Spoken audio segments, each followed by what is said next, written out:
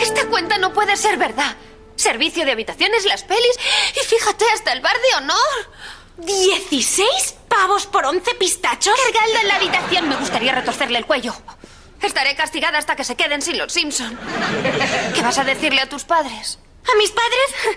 Falsifiqué la autorización. Creen que estoy en tu casa. Este fin de semana ha sido una pesadilla. Al menos las batas son gratis. ¿Has cogido las batas? ¿Las devuelvo? Valen 100 dólares. Espérame en el vestíbulo. ¿Puede darle al vestíbulo, por favor? Claro, nena. ¡Eres Fresh Prince! ¡Eres Prince! Así que es verdad que estabas en el hotel. Intentamos localizarte, pero seguro que habrás dado otro nombre.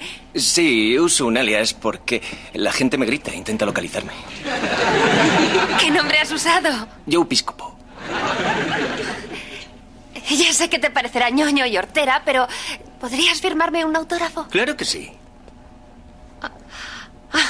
¿Tienes papel y lápiz? No, lo siento. Oh, qué lástima. Ahora nadie creerá que te he visto. Sé que te creerán. Para ti, nena. Gracias.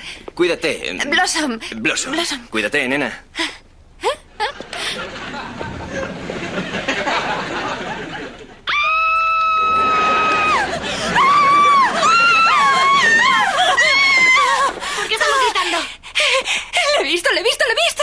Quién? Fresh Prince estaba aquí en el ascensor, le he tocado la mano, aquí su mano, y me ha dado su sombrero.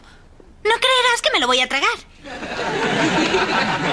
Te lo digo completamente en serio, le he conocido. Blossom, por favor, estoy de un humor de perros, así que no me mosquees. Pero es verdad. No es verdad. Lo tuyo son ilusiones. Fresh Prince está a miles de kilómetros de aquí. Pero Six, me ha dado... Vale, vale, ya basta.